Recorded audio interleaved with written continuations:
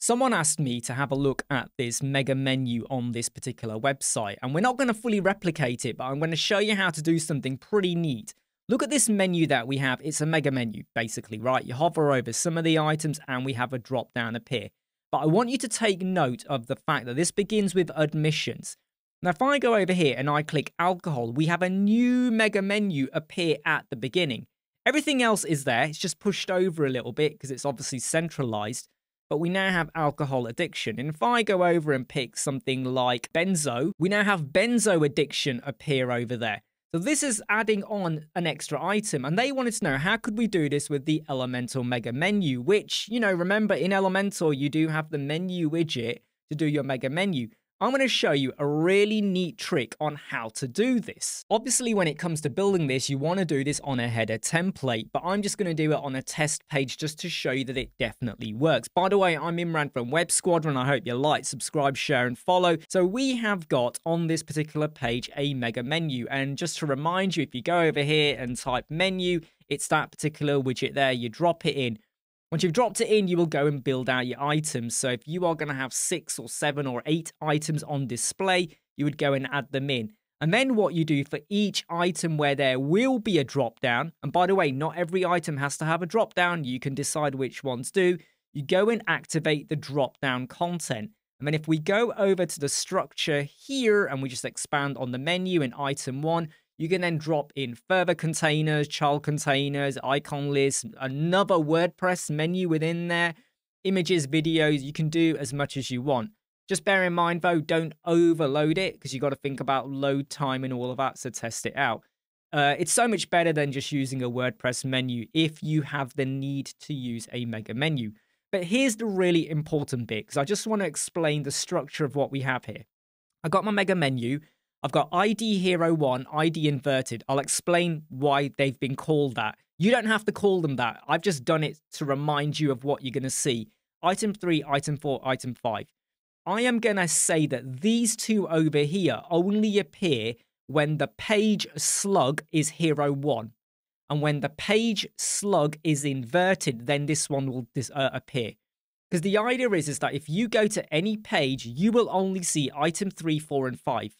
So if I go to a page and the slug of the page is not hero 1 and it is not inverted, you'll see item 3, 4, and 5. That's the standard, a bit like what I showed you previously on that example website homepage. But when you go to the hero, so let's say in item 4, there was a drop down for hero 1 or hero, and you go to that page, this will now appear alongside item 3, 4, and 5, but inverted will not appear.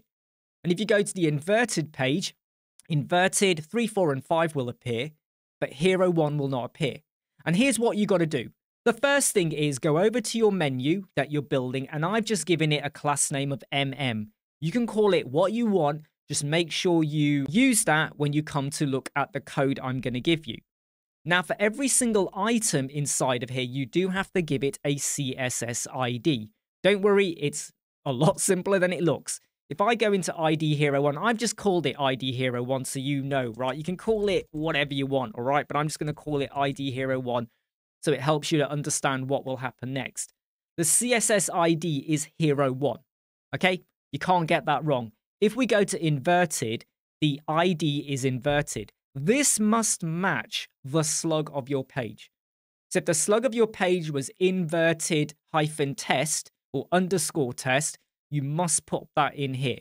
Now, for every item that you want to keep visible, no matter what page you go to, when you go to the ID for that, you pop in keep. We go over here for item number four, keep. We go to item number five, we got keep. If you want to use a different name, just make sure you acknowledge that in the code. So, so far, this should make sense, right? Hero 1 will be determined by the slug of a page, which is called Hero 1, inverted, and the others have keep. I hope that makes sense.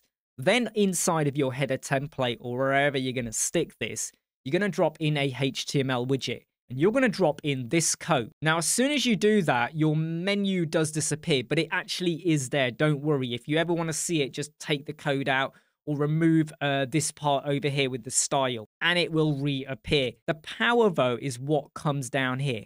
So what this is going to do is pick up your page slug. And if your page slug matches the ID as to what we had here for item one or two, it will now appear alongside the keep. If it does not matter, if sorry, if it doesn't uh, match, you'll only see keep. So the way this is going to work is exactly how I've tried to explain it to you. So let me now show you this in action. I've gone to a page called accordion. That is the slug, okay? It could be home, it could be whatever you want. Notice that we have item 3, item 4, and item 5. Only item 4 has got the mega menu appearing. The others, you know, if you're going to have drop-down content or not. And don't worry about the styling of this. I just want to get across how this works. So because accordion does not match any of the IDs, we only see the keep items. What about if I now go to Hero 1? So this page, the slug is Hero 1. Notice how Hero 1 that has further drop down appears. Item 3, 4, and 5, which are keep, are there.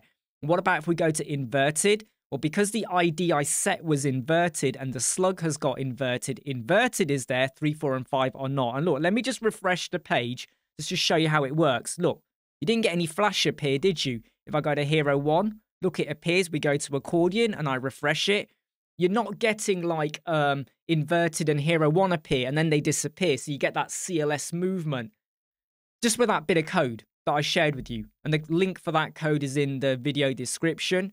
So if you want to do something a little bit extra with your mega menus, you can do now with this bit of code. I'm Imran from Web Squadron. I hope you like, subscribe, share, and follow. See you soon.